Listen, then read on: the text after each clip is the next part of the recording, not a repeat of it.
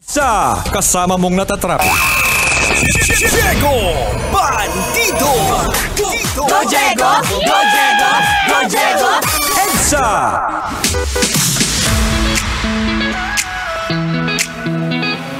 Wow.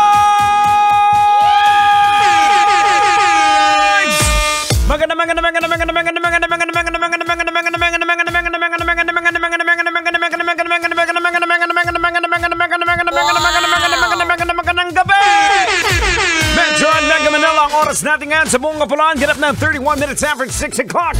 Welcome po dito sa pinakamalupit, pinakamakulit na programa! S.A. EDSA! That's right mga kabisyo!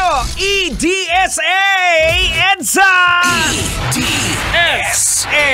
EDSA!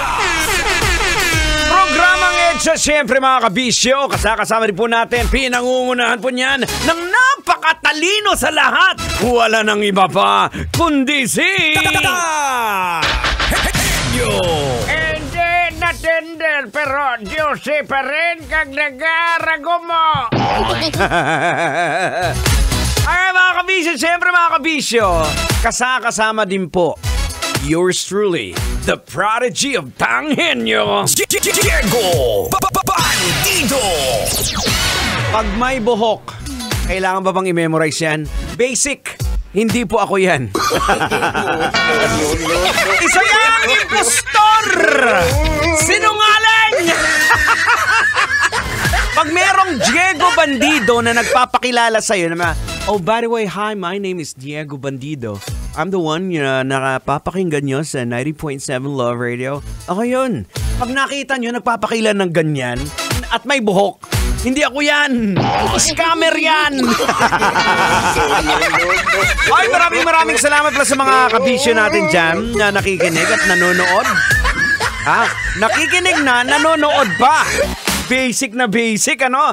Siyempre mga kabisyo, hindi po makukumpleto ang tropang EDSA kapag hindi natin kasama ang napakakulit! As in, sobrang kulit! Parang gusto kong sabunutan yung sarili ko. No, no, no, no. Walang iba kundi si Duday!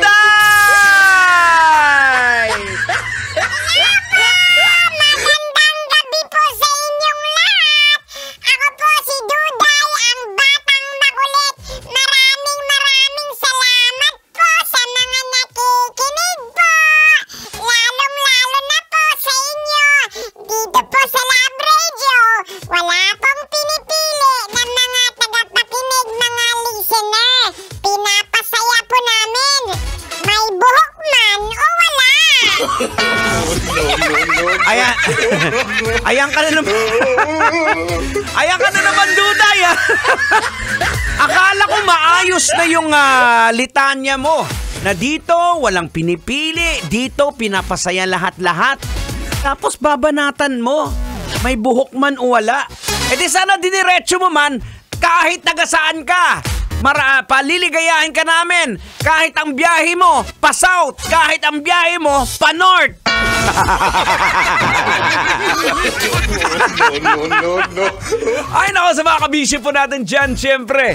Hanggang alas 9 po tayo, keeping you covered straight up until 9 o'clock in the evening. Bringing songs that would really make you feel good, that perk you up. Dahil mga kabisyo, ang araw na ito ay biyernes. It's uh, the 16th. Ay, oo nga, sweldo, friend. Oo, sabay mga sweldo ha. Make sure, paalala po, ang sweldo po ay hindi para gastusin mo lang dyan. Ang sweldo po ay dapat unang-una, nakalaan po yan sa mga bayarin. O ganun po dapat yan. Ang ah, tamang paggamit ng ah, ah, pinaghirapan mo, ah, dapat ang tamang savings is, ang gagawin mo, kumuha ka muna ng savings na halimbawa, ah, 1,000 a month o itata- itatabi mo. Tapos yung matitira, yun yung pagkasyahin mo. Di ba?